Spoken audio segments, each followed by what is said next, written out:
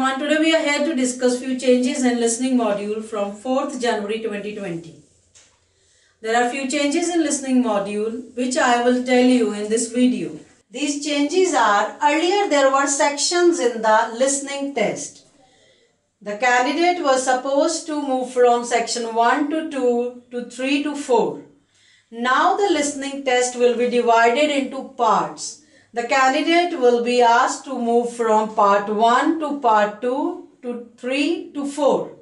So you have to be careful from 4th January 2020 that there will be parts not sections. The other important change is there will be no example in section 1. Earlier in listening test there used to be example in section 1 before the beginning of the test. The candidates were asked to listen to the example first, then start the question number 1 to 5.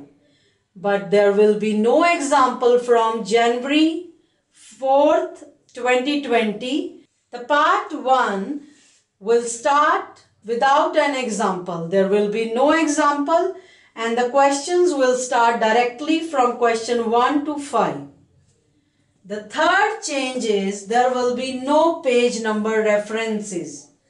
Earlier there used to be pages in the listening test and the candidates are instructed to look at question on page number 1, page number 2, page number 3, page number 4.